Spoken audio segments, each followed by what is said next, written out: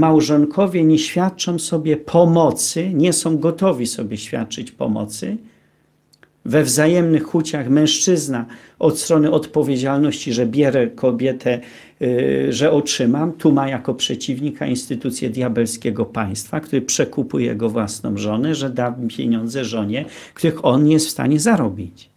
Jemu nie dadzą, ale żonę zatrudnią i żonie dadzą. W związku z czym żona ma jako pana swojego szefa, szefie, szefie, dla szefa ps, ps, siu, siu, szefie, oczkami tak, dla kogo się niewiasty tak uczą.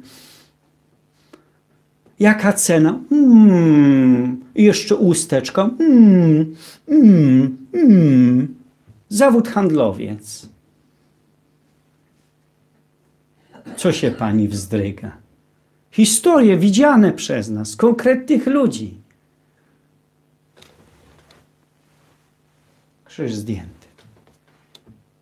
I to jest mężczyzna, którego masz tytuł wziąć za, za męża. Jak taki nie jest, to po coś go brała. Durna babo!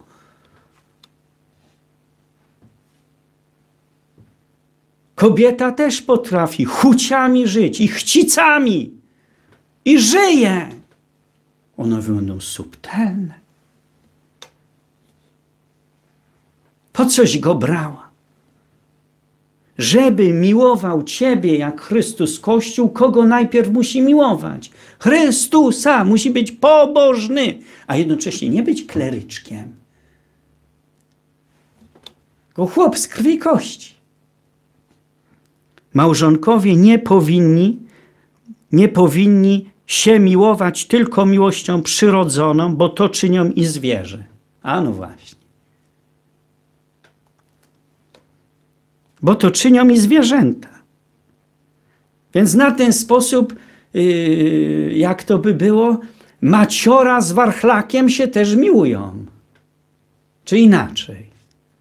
Ogier z klaczą. Ale człowiek nie tak jest. Maciora też dzieci urodzi.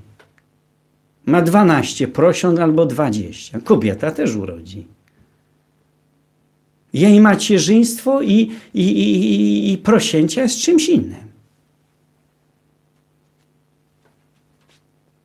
Małżonkowie nie powinni się miłować tylko miłością przyrodzoną, bo to czynią i zwierzęta ani tylko miłość, a od razu, żeby jak nie, nie, nieprzyrodzona, to to nie jest platoniczna miłość, bo platoniczna miłość to jest uczuciowa, to jest przyrodzona. Uczucia przynależą do sfery biologicznej człowieka. Kobieta ma z tym ogromny problem, bo jej się zdaje, że uczucia, które żywi, mają naturę duchową. Nie, mają naturę, ma, mają naturę yy, cielesną, tak jak zmysły u mężczyzny to, co jego pobudza od strony wzroku, ją pobudza od strony uczuć. Ja mam ten sam wymiar. On upadnie pod wpływem zmysłów, jak jest pobożny, od razu się czuje brudny, idzie do spowiedzi i się jak pobożny spowiada. Ona przeżywa wzniosłe rzeczy i uważa, że się nic nie dzieje. Ona tylko seriale ogląda.